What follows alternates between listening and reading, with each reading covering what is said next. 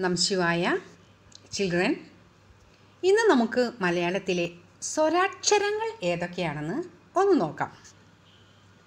ആ ആ ഇ ഈ ഉ ഊ ഋ എ എ ഐ ഒ ഓ ഔ അം ആ.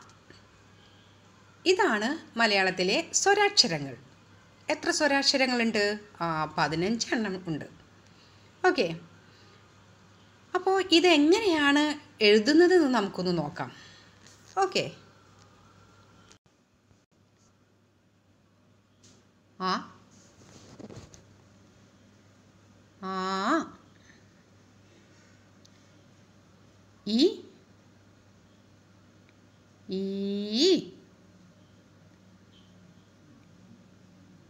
ഉ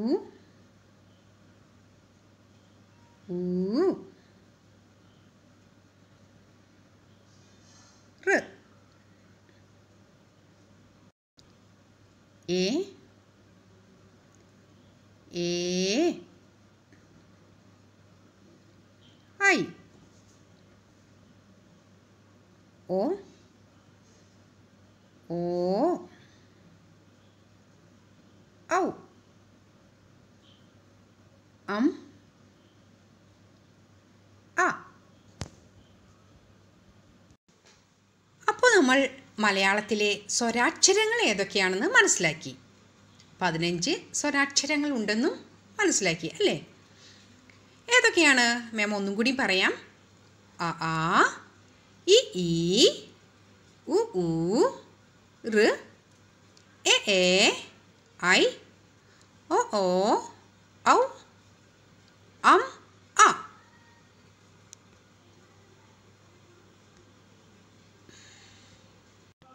അപ്പോൾ എല്ലാവരും ടു ലൈൻ ബുക്കിൽ ഇതേപോലെ വൃത്തിയായി എഴുതുക.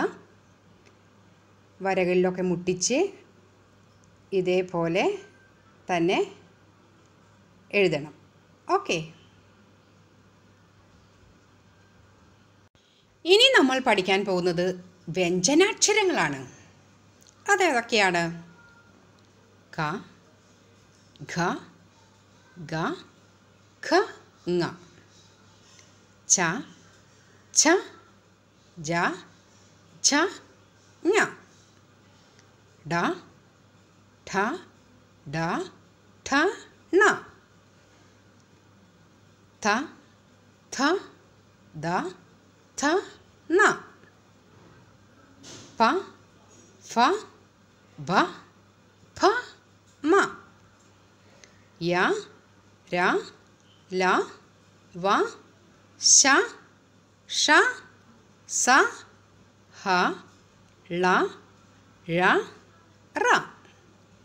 അപ്പം ഇതൊക്കെയാണ് വ്യഞ്ജനാക്ഷരങ്ങൾ. ഏതൊക്കെയാണ്? ഖ ഖ ഖ ഖ ച ഛ ജ ഝ ഠ ഠ ഢ ഢ ഥ ഥ ദ ധ പ ഫ ഭ ഭ മ യ Saha Larara. ഓക്കെ അപ്പോൾ ഇതും ബുക്കിൽ വൃത്തിയായിട്ട് ഇതേപോലെ തന്നെ എഴുതുക. ഓക്കെ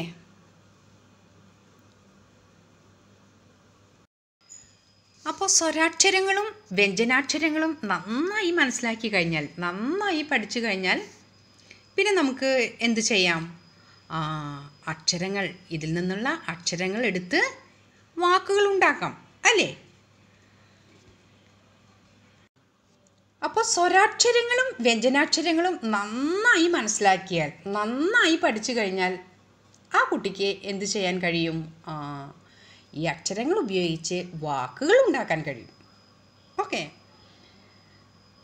അപ്പോൾ ഇവിടെ മാം കൂട്ടക്ഷരോ ചില്ലക്ഷരോ ചന്ദ്രക്കലയോ ദീർഘമോ അല്ലെങ്കിൽ വാക്ക് അക്ഷരങ്ങൾക്ക് മുന്നിൽ വള്ളി അങ്ങനെയുള്ളത് യാതൊന്നും പഠിപ്പിച്ചിട്ടില്ല. സ്വരാക്ഷരങ്ങളും വ്യഞ്ജനാക്ഷരങ്ങളും മാത്രമേ പഠിപ്പിച്ചിട്ടുള്ളൂ. അല്ലേ?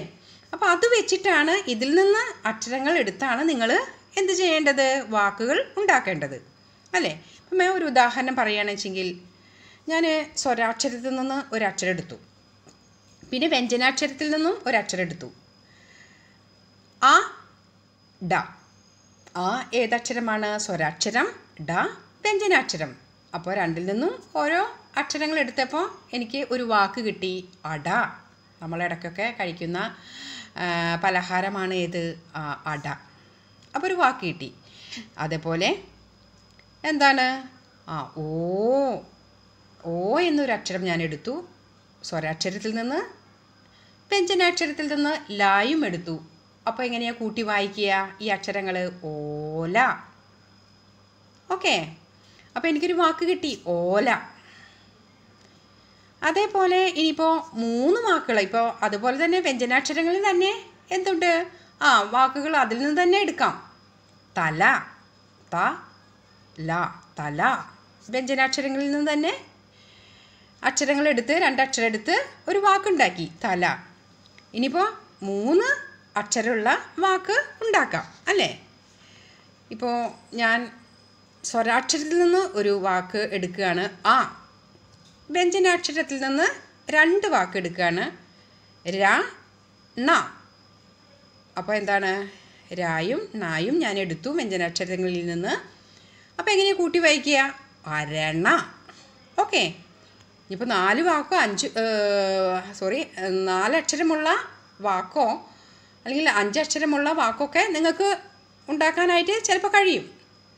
അപ്പോൾ ഇങ്ങനെയുള്ള വാക്കുകൾ എഴുതി കൊണ്ടുവരിക ഒരു പത്തെണ്ണം ഓക്കെ? ഇങ്ങനെ സ്വരാക്ഷരത്തിൽ നിന്നും വ്യഞ്ജനാക്ഷരത്തിൽ നിന്നും അക്ഷരങ്ങൾ എടുത്ത് വാക്കുകൾ പത്തെണ്ണം ഉണ്ടാക്കുക. അതാണ് നിങ്ങളുടെ അടുത്ത ദിവസത്തെ ആക്ടിവിറ്റി അല്ലെങ്കിൽ നിങ്ങളുടെ ജോലി. ഓക്കെ? മനസ്സിലായില്ലേ എല്ലാവർക്കും? അപ്പോൾ ഇതൊക്കെ വൃത്തിയായിട്ട് ആദ്യം നോട്ടിൽ എഴുതുക. അതിനുശേഷം പഠിക്കുക. മാം പറഞ്ഞ ആക്ടിവിറ്റി ചെയ്യുക. ഓക്കെ